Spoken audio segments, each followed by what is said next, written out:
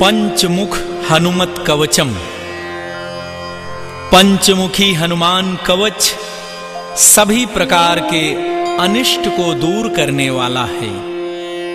इसके नियमित पाठ से सभी प्रकार के रोग और कष्ट दूर होते हैं। पंचमुखी श्री हनुमान जी का चित्र यदि घर के प्रवेश द्वार पर लगाया जाए तो बड़ा ही मंगलकारी होता है और श्री हनुमान जी की कृपा प्राप्त होती है। भक्तजनों, आइए पंचमुखी श्री हनुमान जी के कवच का पाठ करते हैं। गरुण उवाच।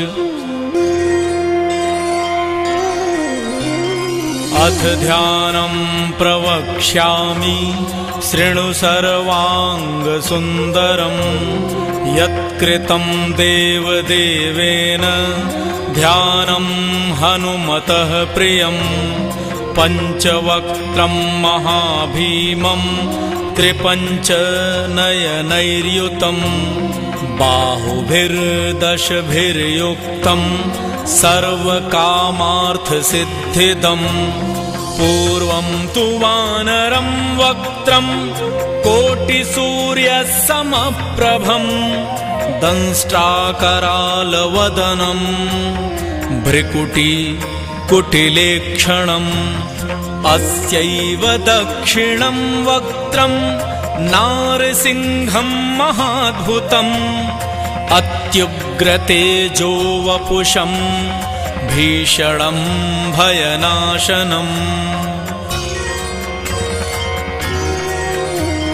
पश्चिमं गारुडं वक्त्रं वक्रतुण्डं महाबलं सर्वनागप्रशमनं विषभूतादिकृन्तनम् उत्तरं सौकरं वक्त्रम् कृष्णं दीप्तं नभोपमम् पातालसिंहवेताल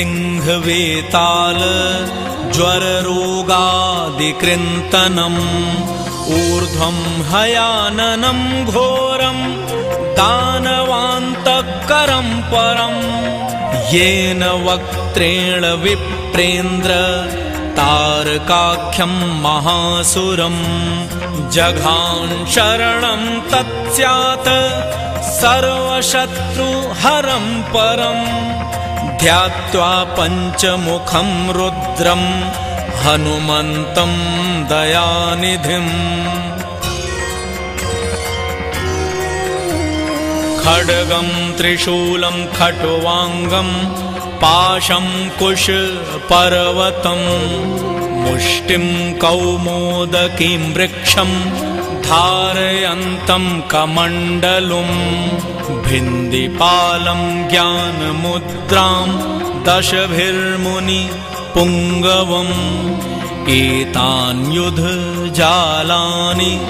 धारयन्तं भजाम्यहम् प्रेतासनोपविष्टं तं सर्वाभरणभूषितम् दिव्यमाल्याम्बरं धरं दिव्यगन्धानुलेपनम्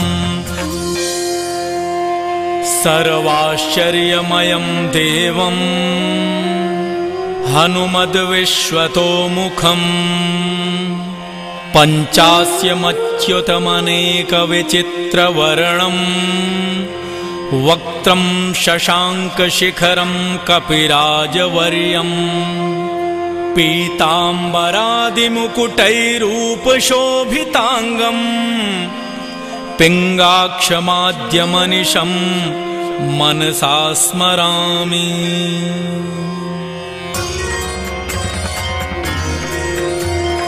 मर्कटेशं महोत्साहं सर्वशत्रुहरं परं शत्रु शत्रुसंहार मां रक्ष।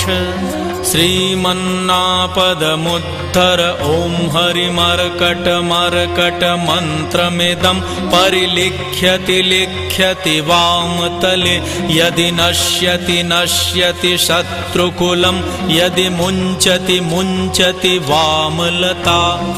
इदं कवचं पठित्वा तु महाकवचं पठेन्नरः एकवारं जपे स्तोत्रम् सर्वशत्रुनिवारणम् द्विवारं तु पठेन्नित्यं पुत्रपौत्रप्रवर्धनम् त्रिवारं च पठेन्नित्यं सर्वसम्पत्करं शुभम् चतुर्वार पठेन्नित्यं सर्वरोगनिवारणम्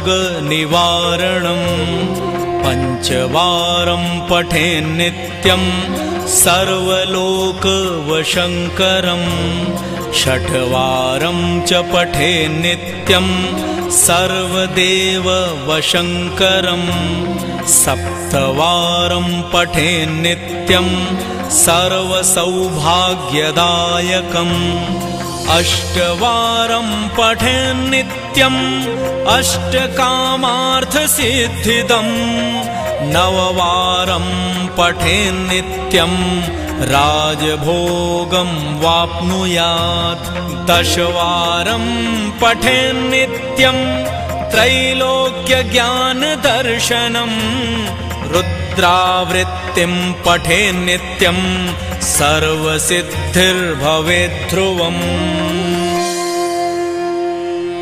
कवचस्मरणेनैव महाबलं वाप्नुयात् इति पण्डितशिवदत्तमिश्रशास्त्रिविरचिते हनुमद्रहस्ये सुदर्शनसंहितायां श्रीरामचन्द्र सीताप्रोक्तं पञ्चमुख हनुमत्कवचं सम्पूर्णम्।